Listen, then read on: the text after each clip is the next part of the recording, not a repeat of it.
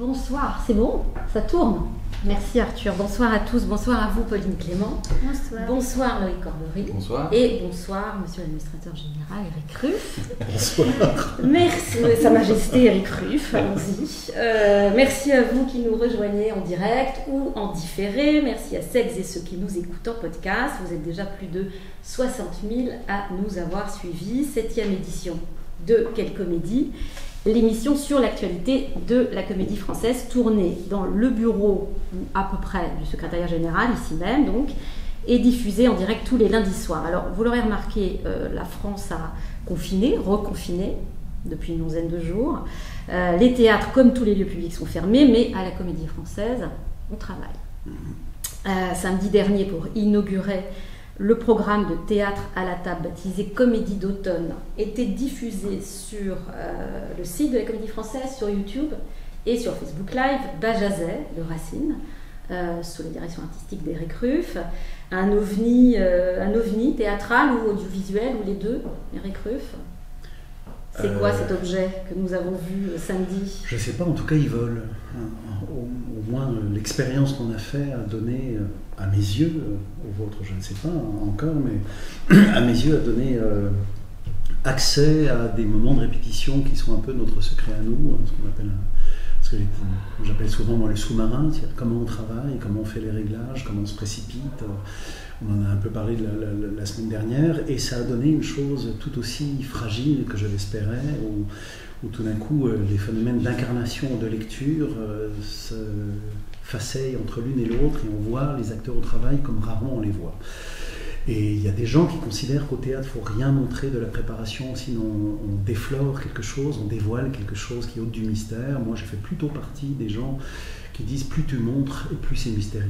Donc, finalement, euh, donner accès. Euh, ça ne désacralise pas votre noble art Non, pas du tout. Et puis euh, c'est un, exercice tellement ludique et tellement dangereux aussi pour les, pour, les acteurs. Mais pour l'anecdote, après, on a tourné donc, dans les conditions du direct ce, ce Bajazet et dès qu'on a obturé au noir sur la fin, tous les comédiens ont fait ah, ah, ah c'était difficile. Ah, ils se sont comme des dingues alors que nous à l'écran on avait l'impression qu'ils étaient mm. d'une maîtrise absolument dingue une souplesse dingue parce que c'est des exercices de concentration entre la mémoire la lecture le vous allez voir le, le copain qui vient avec la caméra etc donc voilà c'est c'est des beaux exercices et le fait de le partager avec, euh, avec le public me, me, paraît opportun. C'est le théâtre dans sa forme la plus brute, en fait.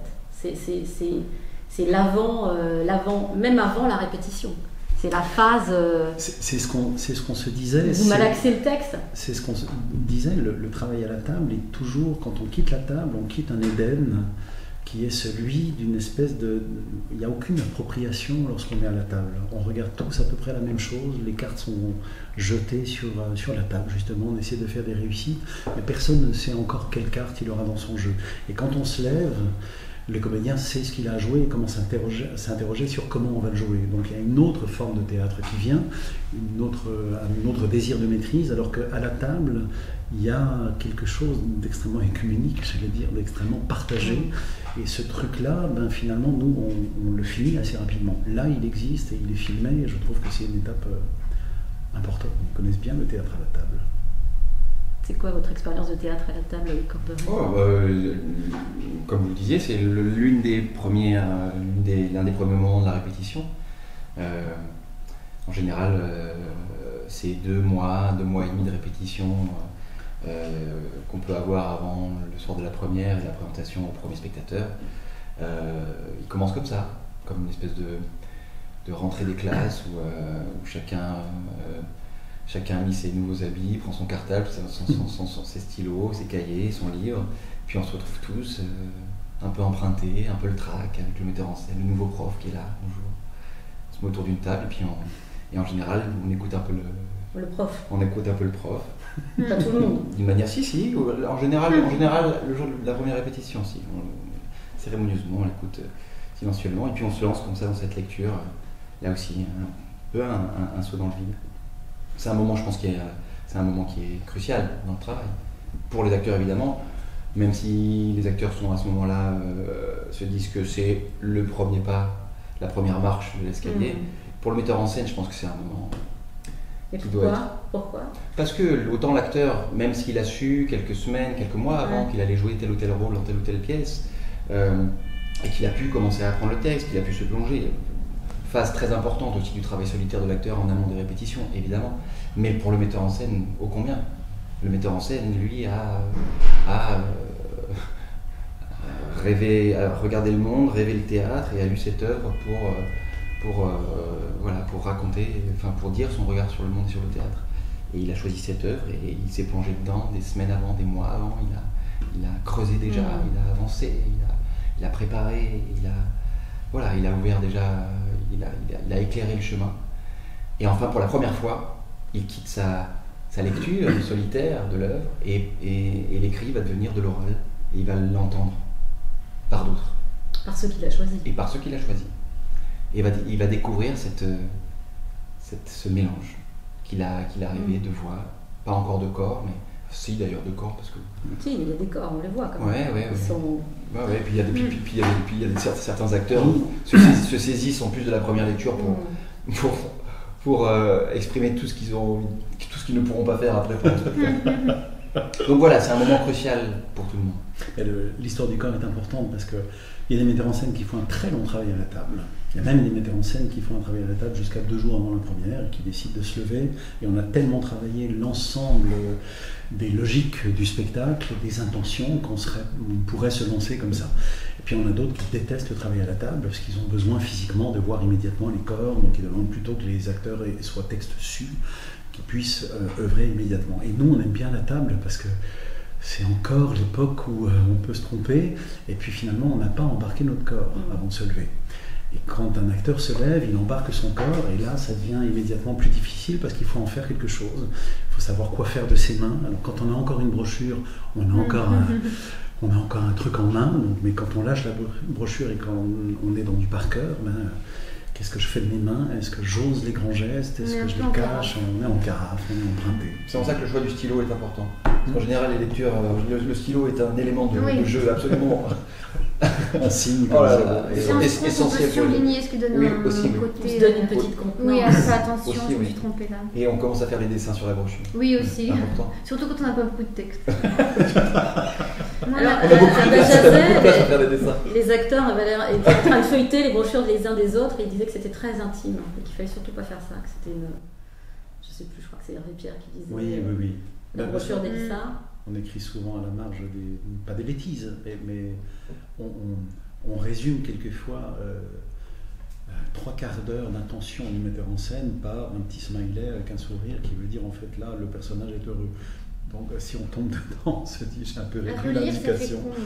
Voilà. À relire, ça fait Mm. con. Mais il y a des brochures, euh, certains acteurs ont des brochures, ça, ça- ça devient des vraies bibles. Enfin, Angèle, c'est vrai, tu te souviens d'Angèle bien sûr. Brochure d'Angèle. Les brochures. de- de- Souligné, sursurligné, des couleurs différentes, biffé, réécrit, enfin, ça devient dingue. c'est- c'est une Mm. espèce Et de alors, quand l'autre ouvre sa brochure à côté de vous, à la table, vous dites zut, mince, Non, parce qu'en général, la brochure, la est devenue comme ça euh, au bout de deux mois de répétition. Ouais. Au début, euh, ça c'est dimanche. Elle est Oui, encore bien blanche au bien sûr. début. bien sûr, ça se fait au fur et à mesure quand même. Mais après, comme euh, on a un théâtre aussi euh, euh, où les spectacles ont une vie euh, quand même relativement longue, Mm. euh, ces traces-là, des premières répétitions, elles sont, elles sont nécessaires quand on Mhm. reprend les spectacles pour se replonger dedans, quand on reprend le texte, on relit. Et puis elles sont très émouvantes. C'est émouvant aussi de relire et de ce qu'on a pu écrire avant de savoir ce qui allait se passer sur le plateau avec les spectateurs. C'est très émouvant. ça. Mm. La plupart gardent tous leurs brochures. Il y a plein de loges où il y a les- tous les brochures. euh, Ouais.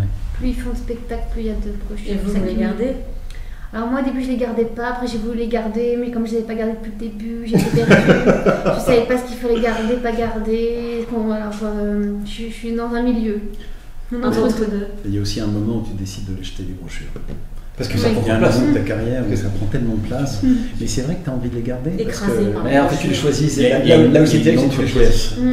Il y a la pièce qui est écrite, il y a une autre pièce qui est racontée, qui est celle de ce que tu as compris comme indication, ce que tu as, Bien sûr. ce que tu as biffé, ce que tu as surligné, les coupes qui ont été faites. Donc l'impression que tu peux pas acheter ça parce que c'est une partie du travail. Et en même temps, je sais pas si c'est ton cas, mais euh, moi plus. euh, maintenant, je ne note pratiquement plus rien.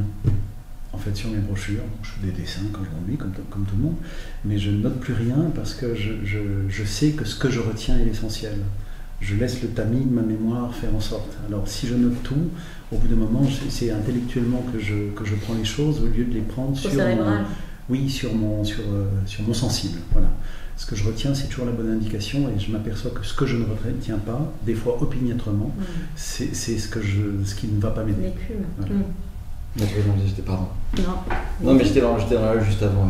ça fait un petit moment qu'on n'est pas allé dans les loges. C'est très étrange de revenir dans les loges à ce moment. Bah, ça fait longtemps parce que d'abord, euh, on joue plus et en plus, euh, il y a plus ça là. Enfin, voilà, vous jouez, quand vous jouiez, vous jouiez à Marigny puisque. Mais là, il se trouve qu'on a appris il y a quelques jours le, voilà, la disparition d'un ami d'un grand metteur en scène. C'est l'administrateur de cette maison. Jean-Pierre Vincent. Jean-Pierre Vincent.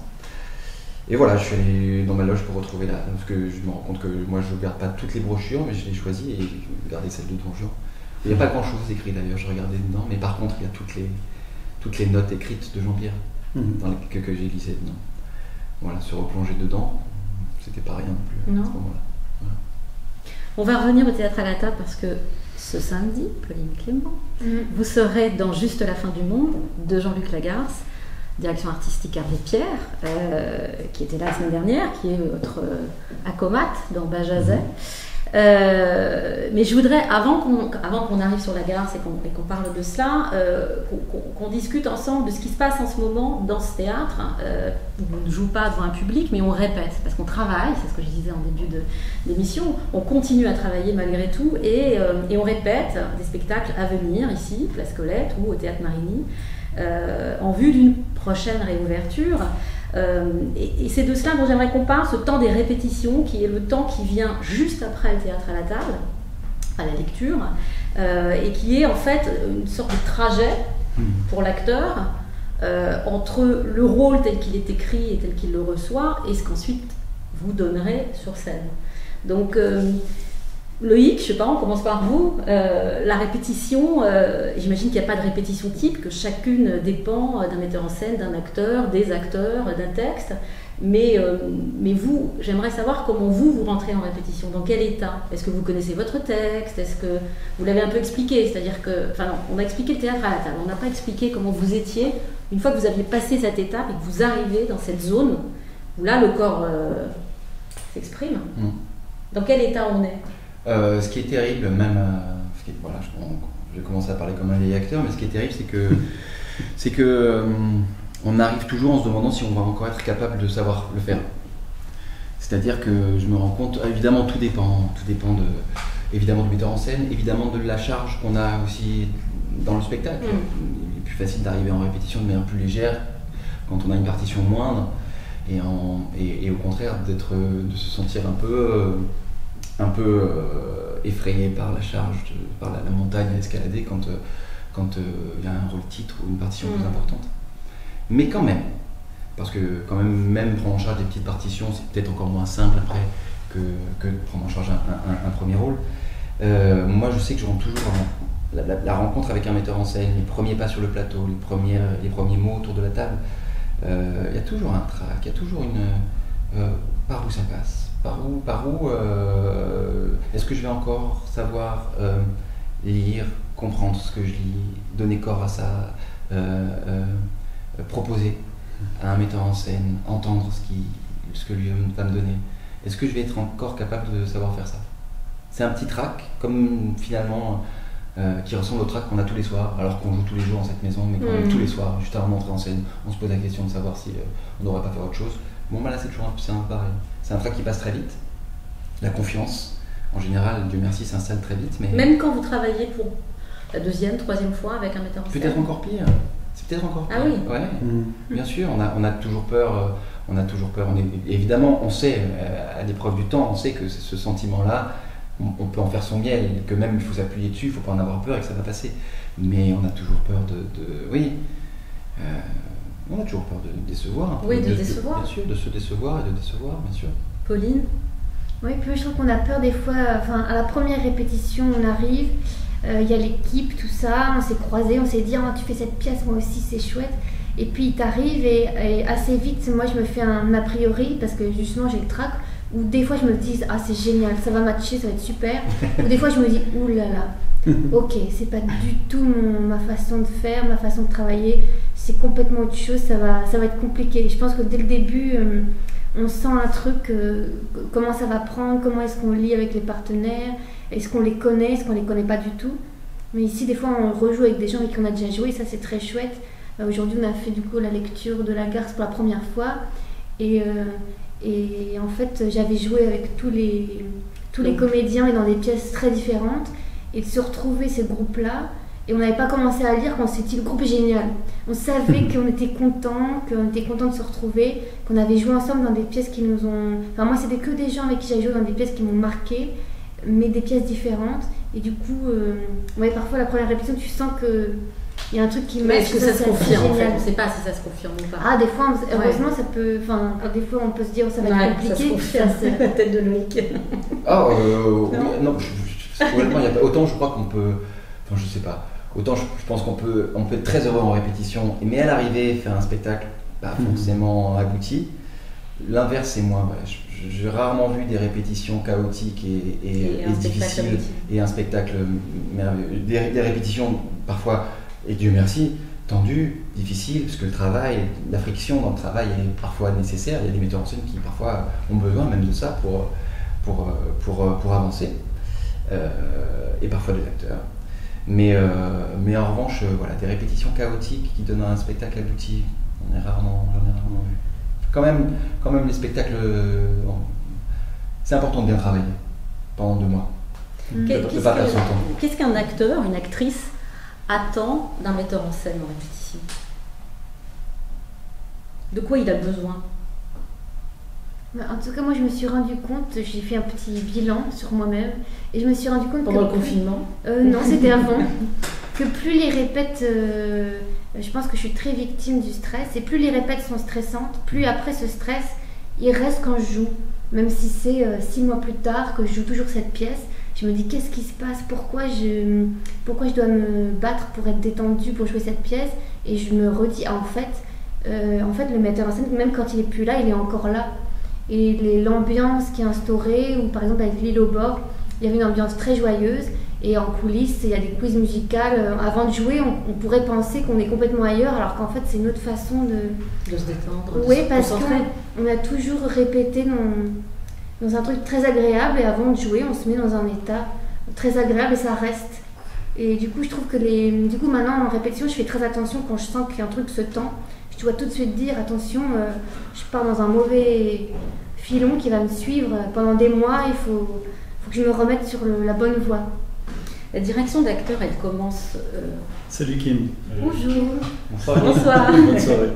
La direction d'acteur, elle commence à quel moment? Elle commence quand on répète ou elle commence déjà à la table Je commence peut-être à la première rencontre avec, euh, avec, euh, avec le metteur en scène, peut-être. Quand il dit j'aimerais ça, ça, ça, je vois ça, ça, ça? Oui, enfin, c'est plutôt oui. Après, c'est dans la manière dont on. la discussion, la conversation, cette longue conversation qui va durer deux mois, enfin, qui va durer très longtemps après quand le spectacle va, va même se jouer. Voilà ce qu'on entend, ce qu'on entend de ce début de conversation.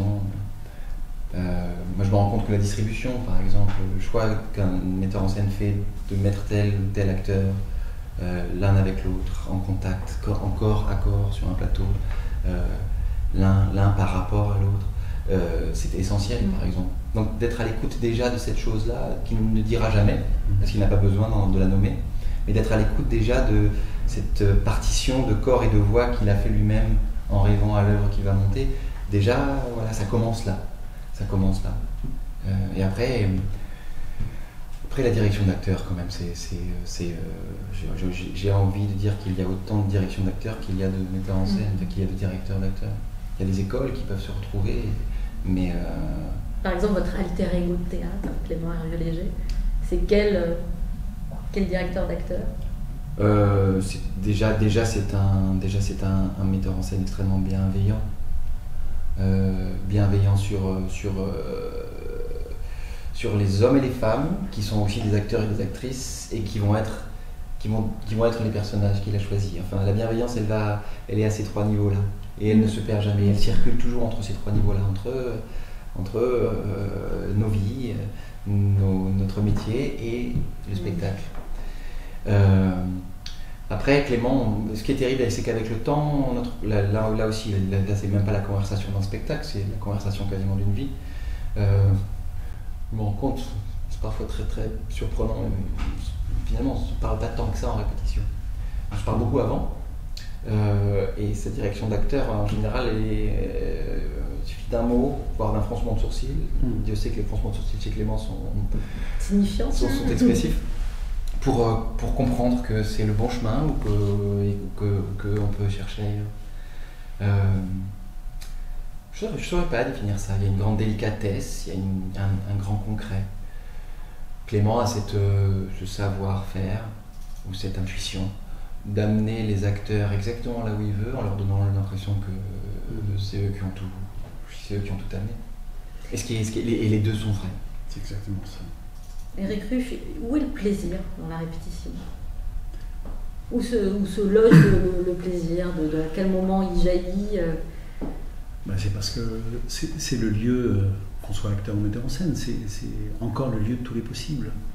Donc on n'a pas à choisir une version, toutes sont possibles. Et c'est euh, le grand bonheur pour soi-même et pour les gens qu'on dirige d'une sorte de maïotique. C'est comment on accouche du jeu, comment on accouche du spectacle, comment on accouche de sa cohérence. J'ai l'impression qu'être metteur en scène, c'est réussir à, à brouiller le temps, à donner l'impression que 48 heures avant une première, tu peux encore proposer, et que deux jours après le début des répétitions, il faut déjà proposer.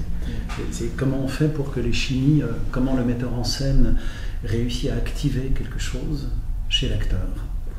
Et ça, on ne sait pas, parce qu'il y a des acteurs qui sont des diesels, il y a des acteurs qui ont besoin de mettre des couches, il y a des acteurs qui, deux jours après le début, à la lecture, font déjà pratiquement ce qu'ils sont capables de faire euh, au moment où ils vont jouer.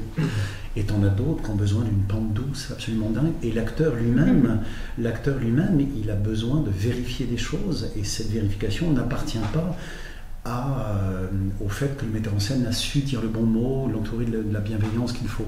De temps en temps, un acteur vérifie qu'il est au bon endroit parce qu'il a des trucs secrets. Sa voix sort, son corps se libère, il se fait moins mal, euh, il trouve du plaisir, et là il se dit Ok, j'ai trouvé.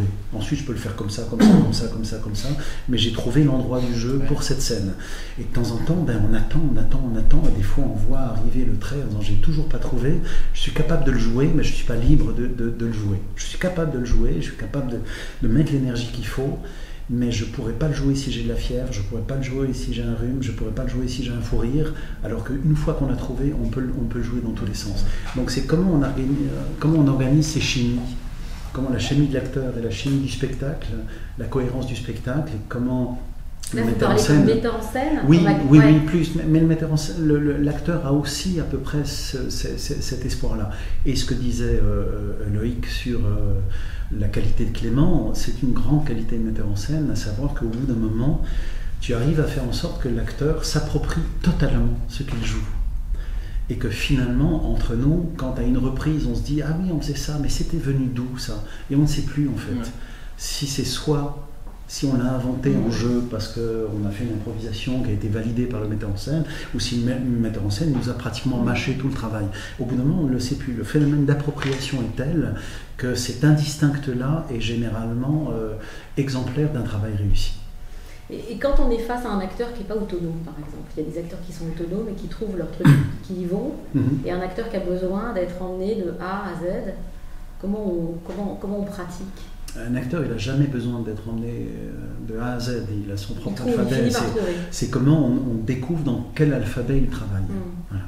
Et ça, finalement, on n'arrête pas de jeter des pierres dans un puits, et on essaye, on essaye, on essaye, on essaye, puis d'un coup, ça fait plouf, et on se dit, ah d'accord, c'est comme ça que ça fonctionne.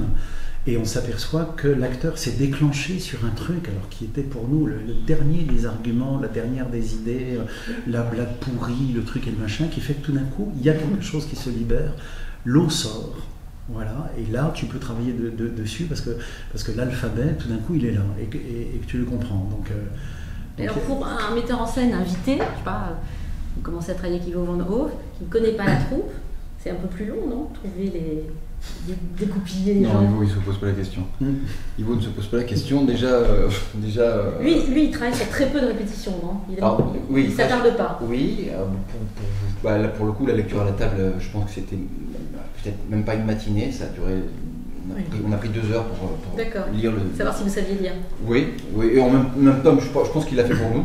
Parce que sur ElectroRest, on n'a même pas fait ce travail-là. Je pense qu'ElectroRest, le Sur pro- ElectroRest, oui. Donc, euh, vous avez joué dans les derniers également Oui, oui, oui, oui, absolument. Et dans l'ElectroRest, pour le coup, le premier jour de répétition, on était dans la boue, en costume, texte dessus, et c'était parti pour euh, écrire.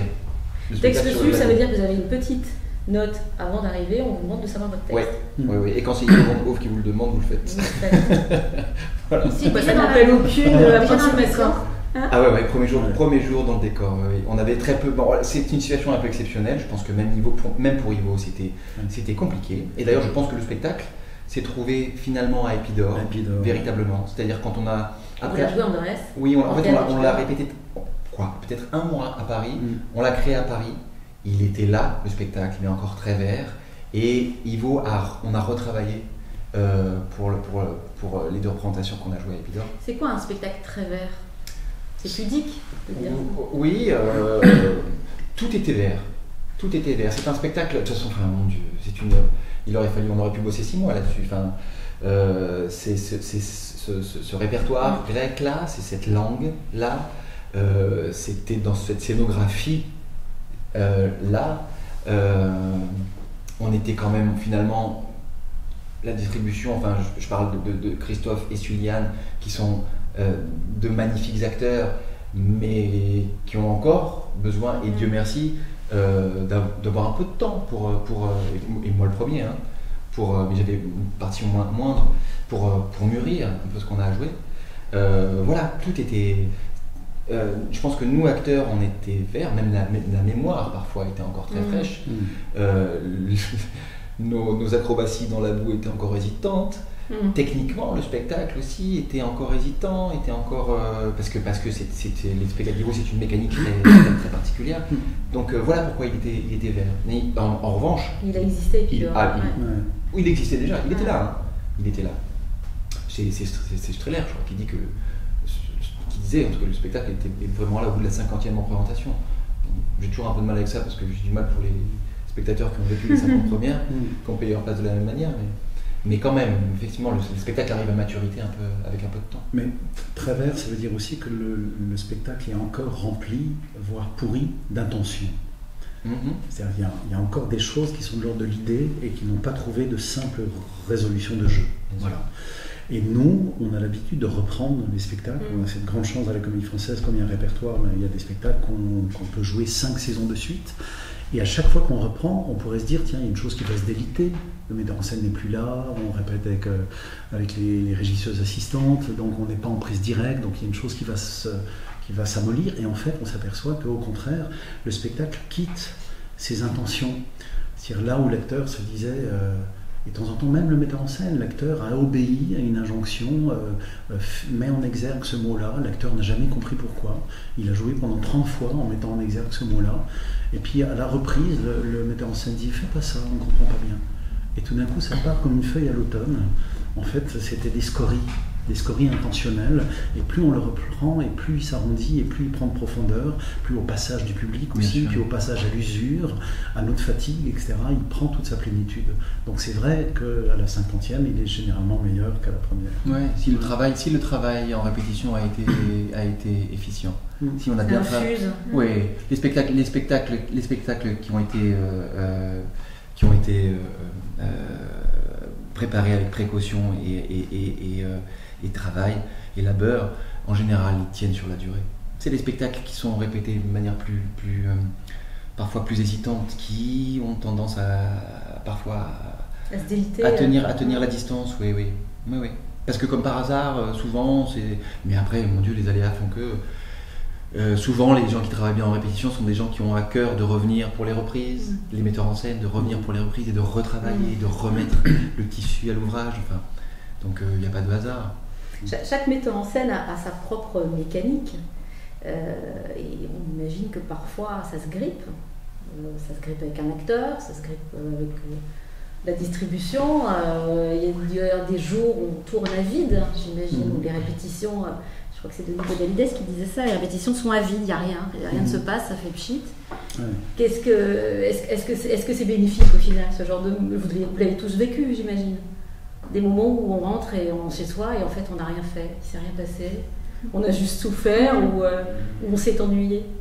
Bah, des fois, il y a aussi des discussions avec le metteur en scène. Tout d'un coup, il y a une personne du groupe ou un groupe qui dit, euh, qui, qui dit j'arrive pas avec cette chose. Enfin, parfois, il y a des discussions qui changent tout. euh, c'est pas parfois le texte, mais quelqu'un qui dit Voilà, je, j'ai un blocage, j'y arrive pas, et euh, ces, ces indications-là ne m'aident pas, euh, elles me paument, je suis paumée. Et parfois, une simple discussion autour de, de là où ça ça se comprend pas peut faire bouger les choses et aussi parfois euh, euh, je trouve surtout ici les, on- comme souvent on se connaît on rejoue ensemble il y a aussi un truc du groupe où si jamais euh, c'est trop compliqué on se lie avec des gens du groupe et on va trouver entre nous comment comment y arriver comment débloquer comment et parfois c'est aussi au, au café après avoir répété on se retrouve et on dit voilà je sais pas j'y arrive pas qu'est-ce qui se passe?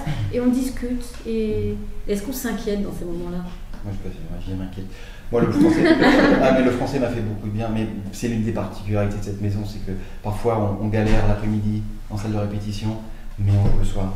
Et cette chose-là, ce, ce- ce- ce- cette énergie qui circule. Quoi qu'il arrive, on joue le soir. Oui, et autre chose, et autrement, et, spectacle. et- et- et ça nous rassure, et, on re- et- et- et ça nous- Moi, j'ai passé les dix premières années de ma vie, avant que je rentre au français, je, je me souviens, les répétitions, mais mon Dieu, j'étais en Mhm. répétition, et qu'elle se passe bien ou mal d'ailleurs, je rentrais à la maison avec la répétition, je passais la nuit sur la répétition, en me disant, oh là là, genre, ah j'aurais dû faire ça, j'ai pas fait ça, mon Dieu, j'ai pas compris, demain matin, je vais faire ça. J'étais à la fois dans le, dans le, le- le- encaisser la répétition qui vient de se passer et préparer celle du lendemain. Je veux dire, je ne m'en sortais pas, je ne m'en sortais pas. Le fait de rentrer dans cette maison, d'être pris dans cette, euh, ce tourbillon-là, fait qu'il y a certaines, peut-être qu'il y a certaines bonnes questions qu'on a Le tourbillon, c'est parce qu'on travaille tout le temps. Ouais, ouais, on- travaille, on travaille, ouais. on travaille, on travaille. Ouais, enfin, on a, oui, on a la chance de travailler tout le temps. De, de- de répéter, de jouer plusieurs spectacles en même temps, parfois dans la même journée. Et, euh, et moi, je sais que, voilà, rentrant là, il y a, il y a- il y a ce que, ce que j'allais dire, il y a peut-être certaines bonnes questions qu'on a plus le temps de se poser, mais il y a beaucoup de mauvaises questions Mm. que moi, je me suis plus posées et ça m'a fait un bien fou, fou. Euh. Vous avez la même expérience Un jeu euh, en chasse un autre, en fait.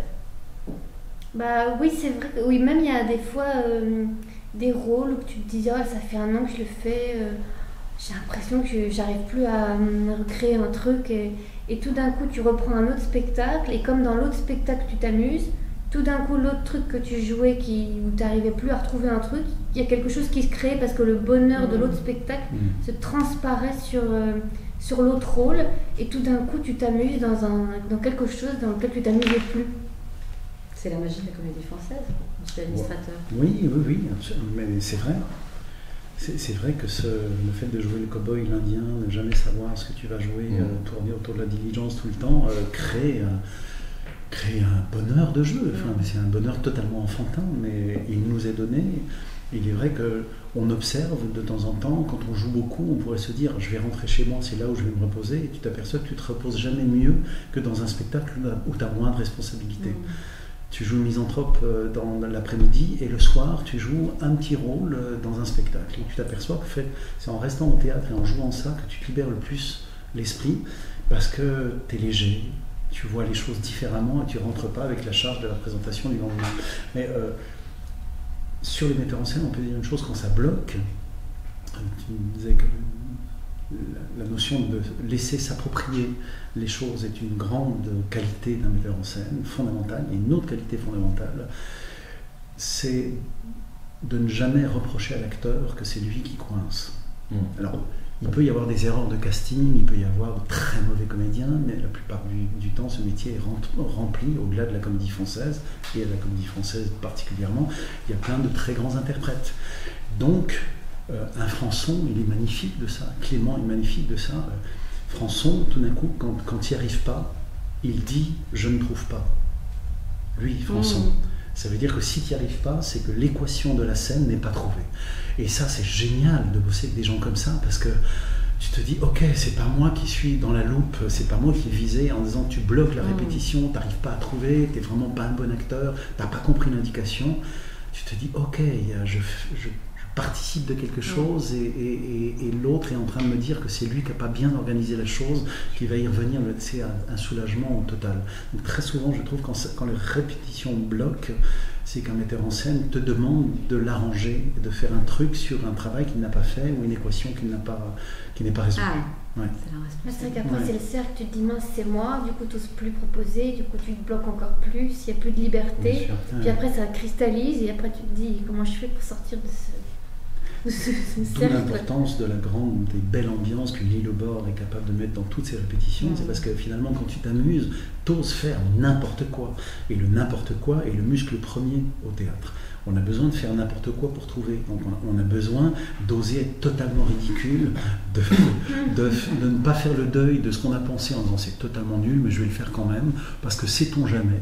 Il y a peut-être dans ce gros chez Brut une petite pépite euh, qui me fait par instinct, je lui dis un truc. Et, et ça, c'est très important. Mm. Quand en répétition, on est sous l'autorité un, un- un peu scrupuleuse ou un petit peu tétanisante de quelqu'un, voire de camarades, ça peut arriver aussi, effectivement, on n'ose plus proposer. Et donc, on rentre dans ce cercle Oui. vicieux et, fi- et on s'aperçoit qu'à la trentième, on continue à jouer un truc avec douleur, alors que depuis que- le début des répètes, on ouais. s'était dit pourquoi j'ai pas dit que c'était pas juste? Mais là aussi, c'est là où la force de la troupe est phénoménale. C'est-à-dire que euh, on sait tous, on sait tous, euh, on, sait tous aimer les uns les autres dans tel ou tel spectacle. C'est-à-dire que quand l'un de nous a un souci, l'un de nous bloque, euh, il sait que ses copains l'ont vu la veille ou le verront demain dans autre chose. Et ben, d'une Donc il y a manière une confiance, Oui. Ouais. un tapis de confiance. euh, Oui, et puis une capacité de communiquer, de se parler, de, de- de s'accompagner. Puis la répétition, mais au-delà du français, c'est ça aussi, c'est évidemment travailler. Vous parliez de la direction d'acteur, évidemment, Mhm. c'est une relation entre l'acteur et le metteur en scène. Mais moi, j'ai, j'ai aussi souvent tout compris en, juste en étant assis sur un banc, en train de Mhm. regarder les autres travailler, Mhm. en train de regarder le metteur en scène parler à un autre acteur, et en, en- en étant témoin du travail. Euh, la, la répétition aussi, ça a été pour moi. alors, Dieu sait que les, les metteurs en scène sont pas forcément des bons pédagogues et réciproquement, mais euh, les moments de répétition ont aussi été des moments. où J'étais, j'étais un, un gamin, un élève en train d'écouter, euh, en train, d'apprendre mon métier en regardant. quoi. On parlait de la table tout à l'heure, moi écouter des heures, des heures, trop longtemps, beaucoup trop longtemps pour le temps de travail, pour les deux mois de répétition qu'on a, mais écouter Jacques Lassalle, bah, parler le monde pour, pour, pour, pour, euh, pour un mot. dans- Pourquoi dans trop longtemps? Parce que Jacques, mais mon Dieu, parce, que, parce que Jacques, le grand défaut de Jacques, des metteurs en scène pensent à la représentation tout de suite, c'est un, un grand tort, on a du temps avant de penser qu'il y aura du public. Euh, Jacques, c'était l'inverse. Jacques se souvenait que le public allait venir dans la salle deux jours avant la première. C'est-à-dire que pendant un mois et demi, mais on faisait un travail lumineux, calme, euh, euh, dense, sublime, sublime. Mais malheureusement, voilà, 15 jours avant, ils disaient Oh là, mais on, Merde, il faut s'y mettre. c'est vrai qu'il y a quand même un, un spectacle à faire, il faut. Et là, il- et là, ça pouvait devenir plus, plus rugueux. Mhm. Voilà. Alors venons-en à, à- à vous, Pauline, parce que euh, vous sortez de, non pas de répétition euh, qui fait pchit et qui se passe mal, mais de- d'une le- une lecture Oui. à la table. Parlons un peu de ça.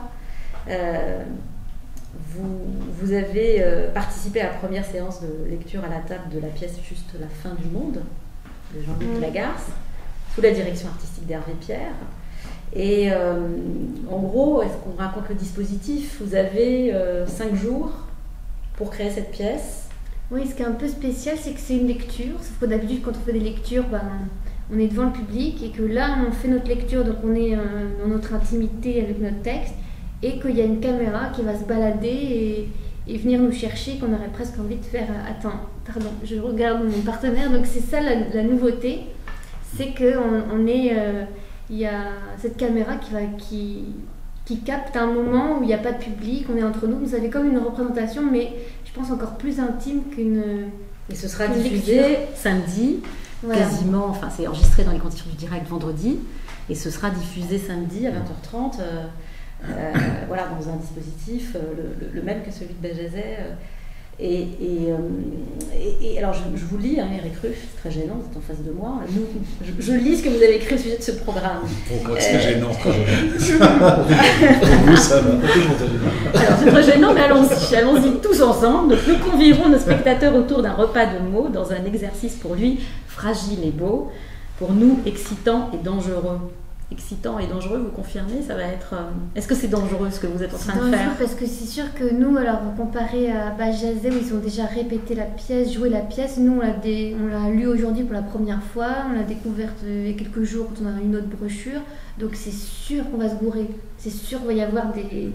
Enfin, je pense qu'il y en a déjà quand tu as répété que tu l'as joué, mais là c'est sûr que hum, on est amené à avoir plein de maladresse et Hervé Pierre nous disait on se jette dedans plutôt qu'être euh, très euh, précautionneux, d'avoir tellement peur que de, tout suivre à la ligne, on, va essayer de, suivre, de pouvoir se regarder, de pouvoir vraiment jouer, mais avec ce texte.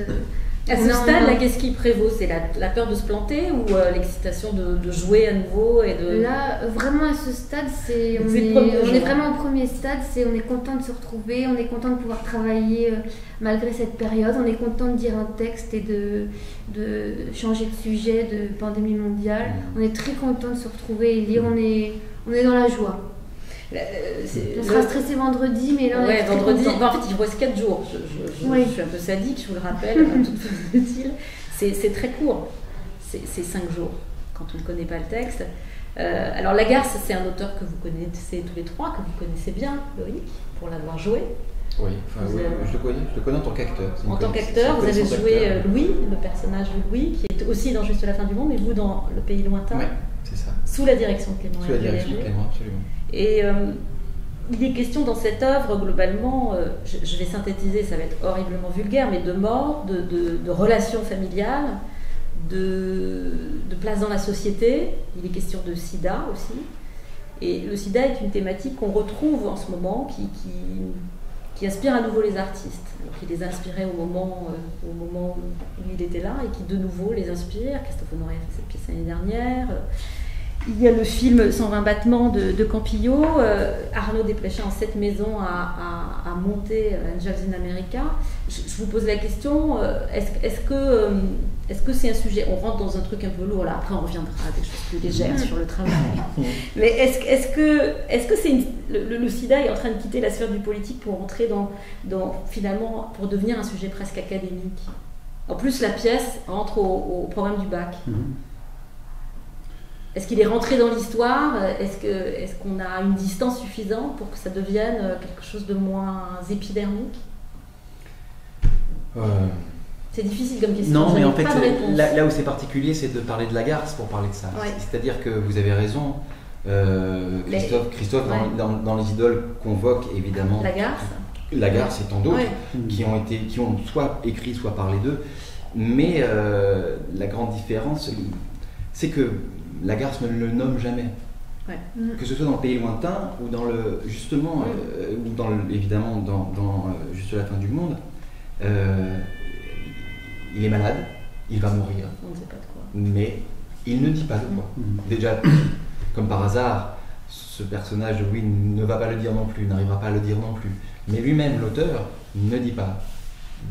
Voilà, ne, formule pas euh, ces quatre, euh, n'écrit pas ces quatre lettres-là. Et pourtant, évidemment, que, quand on replace euh, la pièce dans le contexte où elle a été écrite et qu'on connaît un peu la vie de Lagarde, c'est la manière dont il est mort, évidemment que, tout ça plane.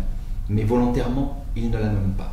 Parce qu'il ne veut pas, je pense, comme vous, avez, comme, comme vous l'avez dit, inscrire cette chose-là dans une époque particulière qui pourrait passer.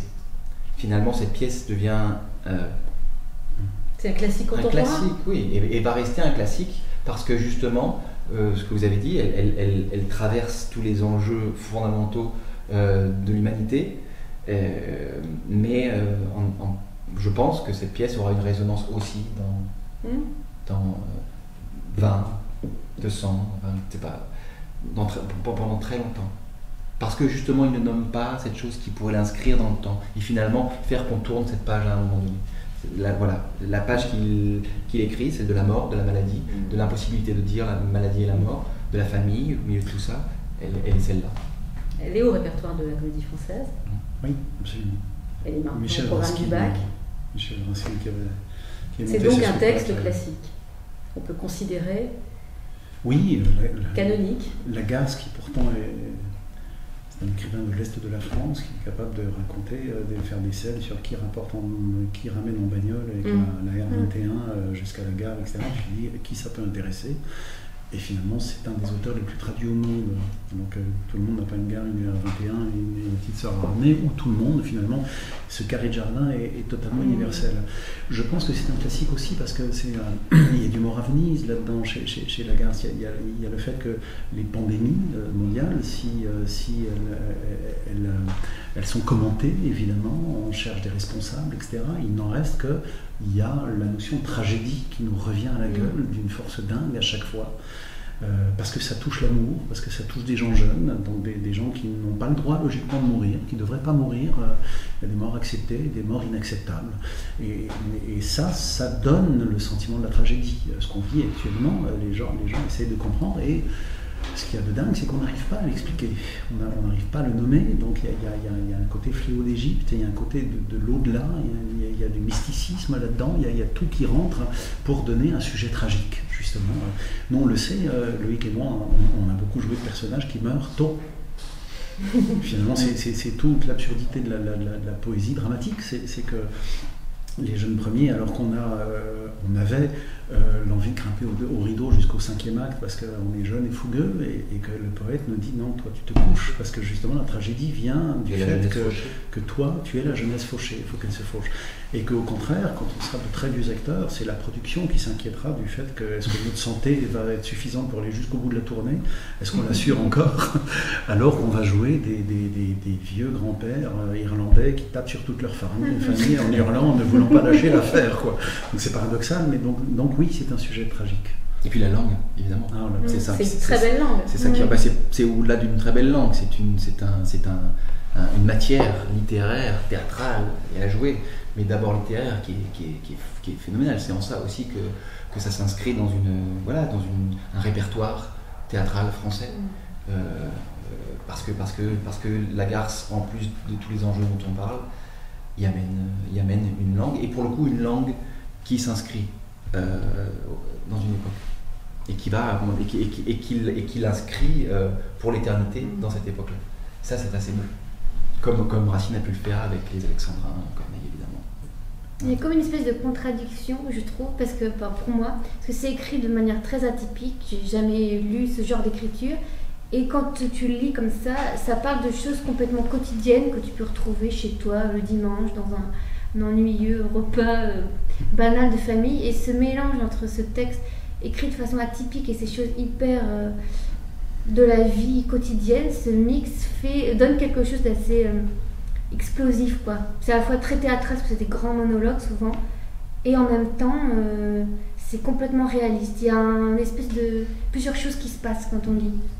Ce qui est dingue par rapport à la langue, c'est que, bon après, mais tu te rends compte en la jouant après, que cette langue qui a été diabolique à apprendre. Enfin, déjà la lire, ça, ça, va être. Pourquoi c'est diabolique? Parce qu'il y a des grandes tirades. Non, non, alors, oui, alors parce que parce que c'est, il y a beaucoup de, il y a beaucoup de scènes dialoguées, mais effectivement, bah, juste la fin du monde et le pays lointain sont quand même deux œuvres mmh. différentes. Mais c'est effectivement, il y a parfois. Un long voyage. Oui, 4 oui, heures. oui, Ouais. absolument. Avec juste la fin du monde au cœur de Mmh. l'œuvre, mais mais la planète, la garce Mm. autour. Et avec des, voilà, un moment pour la plupart des personnages, tout d'un coup, de, de euh, déverser sa pensée comme ça, de, dire enfin quelque chose. À qui Ça, c'est encore une autre question. Et en fait, euh, c'est surtout une, écriture faite de, de répétition, d'interjection, de, de, de, de, pensées qui se précisent au fur et à mesure, qui se construisent au fur et à mesure. On a l'impression comme ça qu'il y a une espèce de forme qui a l'air comme ça un peu, étrange, mais on se rend compte en la jouant, une fois qu'on l'a, une fois qu'on l'a, on l'a fait sienne, et Dieu sait qu'elle est difficile à apprendre et à restituer les premières fois, mais une fois qu'on l'a, on est devenu intime avec cette langue-là, on se rend compte qu'en fait, mais c'est, c'est, c'est, c'est, c'est le fil de chaque pensée humaine.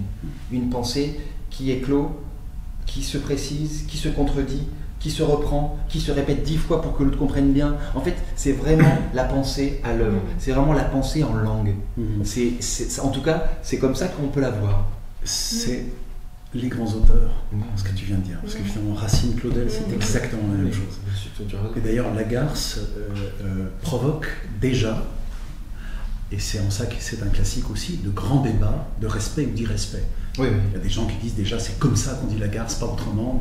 De, de- depuis quand Enfin voilà, il y a déjà des grands débats, ce qui prouve qu'il y a. Moi j'ai toujours le a une sentiment que à gare. Bah, j'ai toujours eu le sentiment qu'on mettait un micro sous la fontanelle, enfin, à l'intérieur de la tête de quelqu'un. Je me suis toujours dit comment est-ce que nos pensées naissent?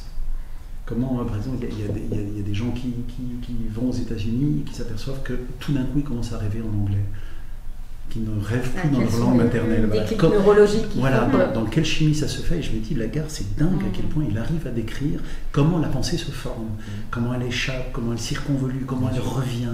C'est- passionnant. Dans, dans le texte de Suzanne que vous interprétez, donc la, la sœur de Louis qui est le personnage principal, euh, il y a ça, hein, il y a une espèce d'esprit d'escalier extrêmement sophistiqué. que Vous allez Oui. bien vous amuser à reprendre. Oui, il y a un moment, elle, elle parle, elle Quand parle. elle lui parle, On a surtout l'impression qu'elle a envie de lui dire des choses, qu'elle est contente de le revoir, qu'elle a envie de lui parler, mais que elle ne sait pas par quoi commencer. Elle l'a pas vu depuis tellement longtemps que tout vient.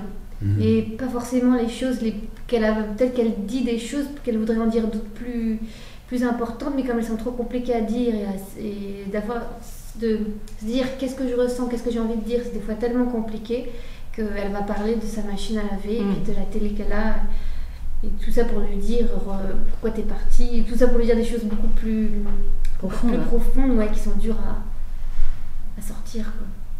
Alors à vos côtés, je rappelle la distribution, donc la direction artistique Hervé Pierre. Jérémy Lopez joue le rôle d'Antoine, qui est le frère de Louis. Louis est joué par Laurent Lafitte. Anna Chervinka euh, joue Catherine, qui est un très beau personnage, qui est la femme Oui. d'Antoine, euh, qui parle aussi par euh, l'escalier. Oui. Euh, et puis, euh, donc vous, Pauline, jouez Suzanne, et Daniel Lebrun joue la mère, qui est un personnage aussi avec des tirades incroyables dès le départ. Voilà. Donc, je vous propose de, de- de- Arthur me regarde, j'espère que je ne vais pas dire de bêtises, Arthur, mais je vous propose de regarder ce qui a été filmé cet après-midi, c'est du quasi direct, puisque vous aviez cette première lecture ensemble. Euh, donc, restez concentrés, restez euh, connectés, hein, c'est ce qu'on dit. Euh, parce que c'est aussi excitant que dangereux. Voilà, donc c'est ce qui suit cette émission. En attendant, je vous remercie. C'était bon les petits crocodiles. Voilà, je me suis régalé. Loïc s'est régalé. On remerciera le secrétariat général de Oui. nous avoir fourni euh, des sucreries. Euh, je vous donne rendez-vous lundi prochain. Nous parlerons de Marivaux et de transmission. Je vous rappelle que demain débutent les lectures de la recherche du temps perdu euh, par la troupe du français. Des diffusions en direct du mardi au vendredi de 19h à 20h et ce samedi à 20h30. Pauline. Rendez-vous sur la chaîne YouTube, sur le site de la Comédie Française et sur le Facebook de la Comédie Française pour une représentation exceptionnelle de théâtre à la table, juste la fin du monde. Mise en scène Hervé Pierre, un texte de Lagarce avec Pauline Clément, Laurent Lafitte, Daniel Lebrun, Anna Chervinka et Jérémy Lopez.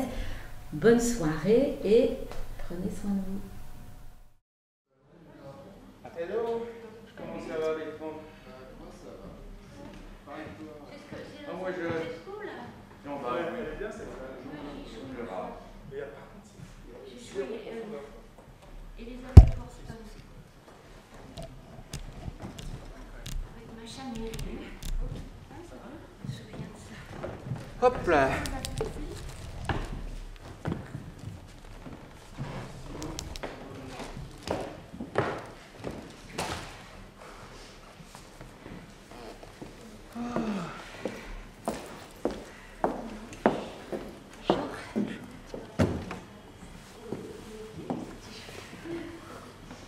bah voilà, c'est bien. On a, on, a, on a les brochures. Oui, oui, ils sont là. Alors ça, c'est où les acteurs jouent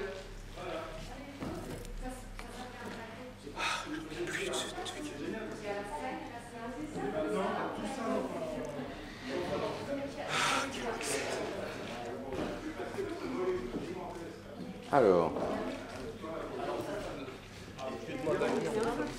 Moi, ça m'émeut. Ça En fait, j'étais contre le du couillard, j'ai pas résisté à la Moi, je suis en mode. mais que carré.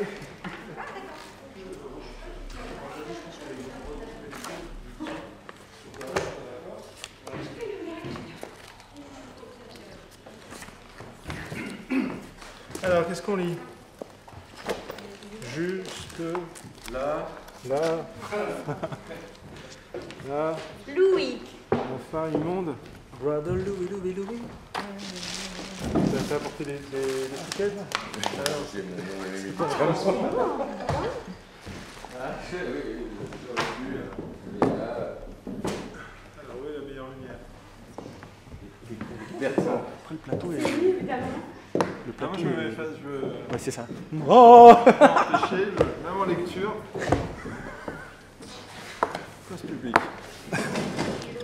Qu'est-ce qu'il y a Jamais vu un acteur qui se concentre qui travaille fout, ça. Vous croyez que ça vient comme ça?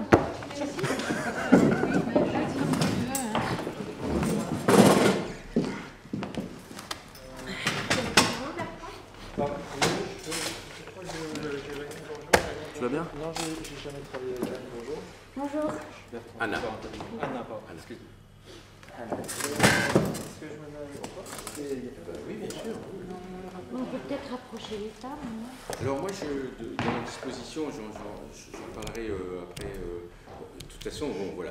Et déjà, euh, on a 4 jours, en gros, pour... euh, Pour monter. Ah oui, on vous a pas dit pour monter jusqu'à la fin du monde. Oui. Bon, pour la fin du monde, des fois, il ne faut pas, faut pas, faut pas plus long. Mais euh, euh, donc, je pense qu'il faut qu'on travaille plutôt euh, sur des grands mouvements, enfin, de, mise en place au fur et à mesure, euh, et, qu'on qu'on rentre pas obligatoirement trop dans les détails, parce que on, moi, vous voyez, on va, va arriver le vendredi en se disant on a vu que la première partie. Euh, donc, c'est plutôt essayer de, de voir large, quoi, en fait. Donc j'ai j'ai- j'ai réfléchi sur la, sur la possibilité qui, qui est euh, justement les deux tables soient séparées. Euh, quand, on a fait Bajazet, les deux tables l'une à côté de l'autre, mais on était plus nombreux. Euh, donc, euh, donc ça, euh, ça, ça fonctionnait très bien. Alors, sur le principe de- de- d'enregistrement que fait Clément, c'est qu'il y a en fait deux travelling de chaque côté là. Il y, a- deux caméras qui circulent dans, cet axe-là. Et puis il y a un cadreur, comme euh, ce qu'est en train de faire Clément en fait, euh, qui, euh, qui est complètement avec, avec vous, qui, qui- qui- va venir se rapprocher, etc. Là, je dois dire que sur Bajazet, c'était, c'est, redoutable. hein. Ça, ça, bon, ça demande une sacrée concentration parce que c'est du one shot, quoi. Bah, bah oui, oui, t'as envie de le pousser. Mais arrête, euh, je lis là. Ouais, ouais. Et euh, c'est vrai que c'est, c'est très. et Comme tout, tout le montage, Clément fait le montage en direct.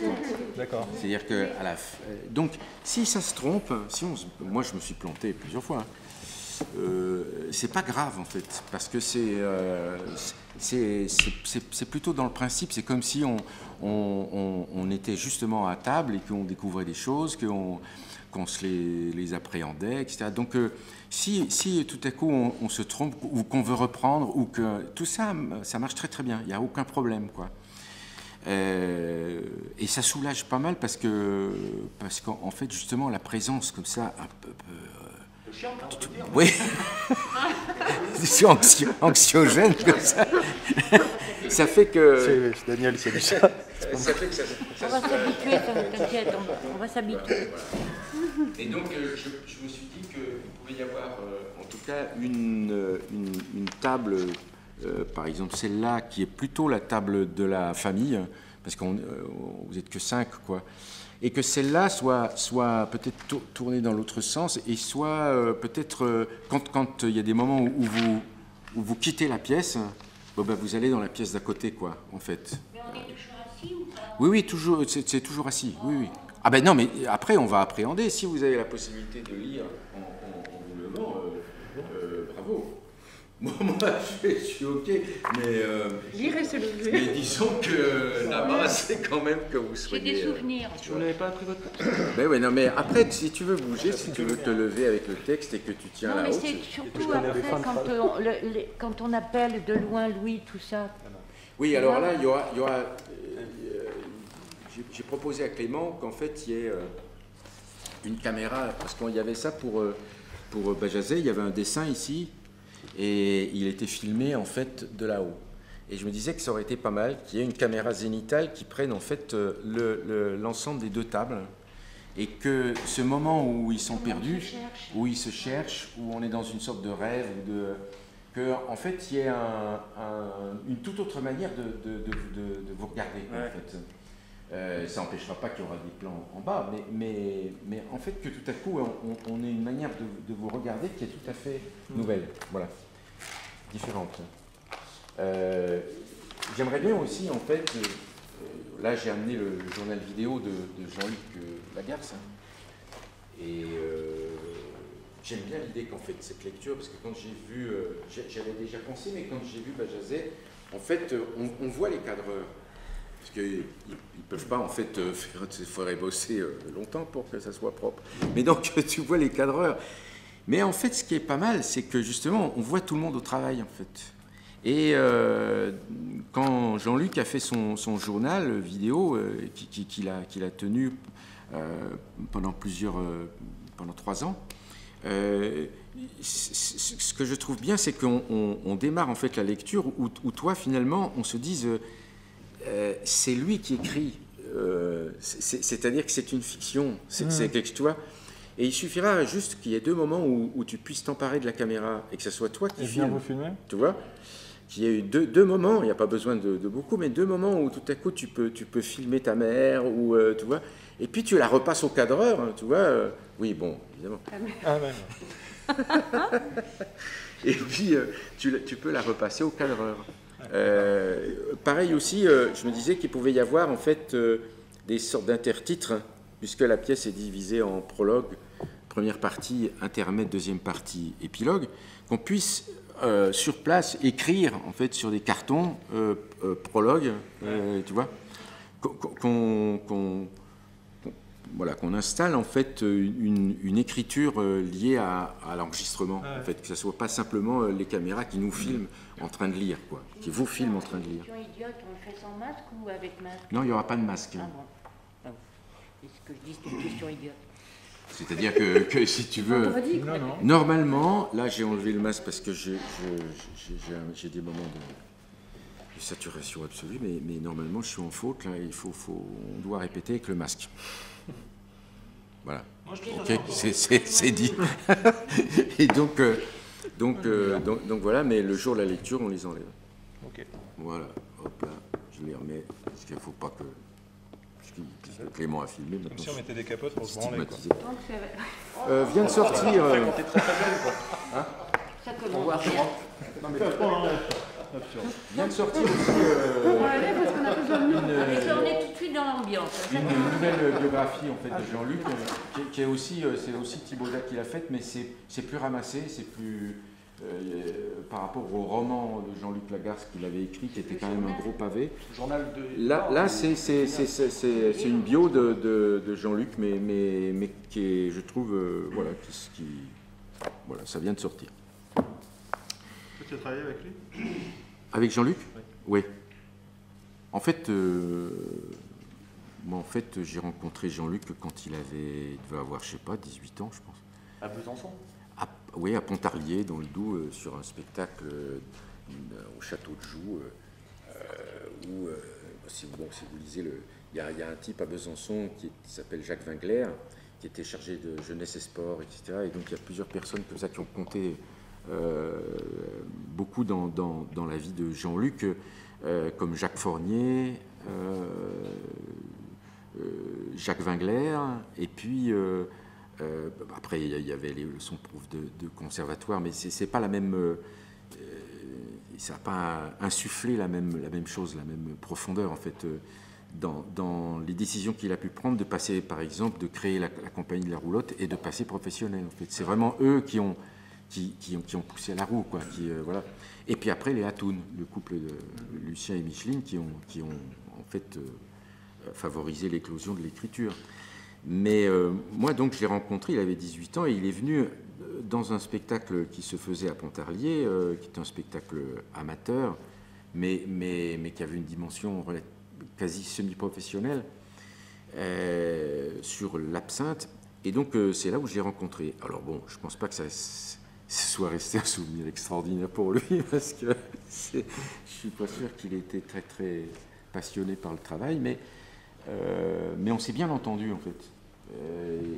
et, donc après, moi je suis parti à l'école du TNS, donc on, on s'est un peu perdu de vue, mais, mais à chaque fois que la, roulotte montait un spectacle, à chaque fois il m'appelait pour me dire il y a un rôle pour toi, tu viens et tout ça. Bon, voilà, la vie après fait que tu n'y arrives pas, que tu mm. te et on s'est retrouvé beaucoup plus tard euh, quand il a fait un, montage de textes euh, qui, racontait tout une, un ensemble de, couples. Ça s'appelait Les Solitaires Intempestifs. Et donc, euh, moi, j'ai joué dans ce spectacle-là. Et ensuite, dans l'adaptation qu'il avait fait de Loulou, de V.D. King, mais où il est mort pendant les répétitions. Voilà. Et c'est moi, après qu'il soit parti, que j'ai découvert finalement son écriture dans l'hommage qui a été rendu à Théâtre Ouvert, j'ai lu Le Voyage à la haie. Et en fait, euh, j'ai trouvé. Enfin, c'est marrant comme on peut passer à côté des choses. C'est dingue, hein Mais j'étais vraiment passé à côté, quoi. Mais de toute façon, il a eu plus de succès en tant qu'auteur après sa mort, non? Euh, Ah, bah oui, oui. Il a été reconnu d'abord comme euh, metteur en scène. Oui, ça, Et. Et en fait, par rapport à ce que je disais sur, sur le fait que tu, tu, puisses être, tu vois, de filmer, etc., euh, il dit là, par exemple, donc, euh, euh, à l'origine, ce que je voulais faire, c'était un journal. Dès le début, je savais que ce ne serait pas ça. Tu sais, tu fais un journal à la main, écrit depuis plus de 15 ans, depuis 1977, très régulier. C'est rare qu'il y ait plus de 10 jours d'écart. Je me suis dit, je vais faire un film vidéo sur cette période-là. J'ai un peu triché. J'ai dit à Pierre Bongiovanni, c'était le producteur, je vais tourner ce qui se passe dans ma vie. Le texte n'est pas sur la période du tournage, il ne correspond pas à la période de ma vie tournée, mais à avant. Un texte que j'ai choisi sur une période particulière. Tu sais que ça commence en, 1988, un mois où il y a eu une nouvelle importante, c'est-à-dire que c'est là, où il découvre sa, sa, zéro positivité en fait. Et, donc, euh, ça va parler de moi. Et, je me suis dit, euh, est-ce que dès le début, je me suis dit, ça va parler de moi, c'est une introspection C'est possible. Mais on ne se dit pas ça parce que c'est un mot un peu prétentieux quand on le dit. Après, que tout le monde le pense, euh, tant mieux. Toi, tu le penses. Hein. Euh, et il, y a un moment que ce qui est. C'est un peu grave quand je vais filmer mes parents. Filmer ses parents, même qui que ce soit, c'est grave. Si tu filmes vraiment, c'est grave. Si tu ne déconnes pas, c'est très grave. Tu, vis avec quelqu'un, c'est grave si tu le filmes, si tu truandes pas. Si tu ne dis pas de faire ça et ça, si tu filmes les gens en train de ne rien faire, c'est obligatoirement important. Et là, c'est pour ça que je me disais que c'était assez juste qu'on ait l'impression que que c'est pas simplement en fait euh, euh, on, filme, on enregistre la lecture, euh, tu vois, dans un rapport un peu bête et con, mais qu'en fait on inscrive quelque chose d'un peu plus, c'est-à-dire le fait que, Louis, euh, finalement, il, est là pour, euh, euh, pour, pour, filmer en fait cette rencontre. Voilà. donc, ben, voilà, après, ben, il suffit de lire.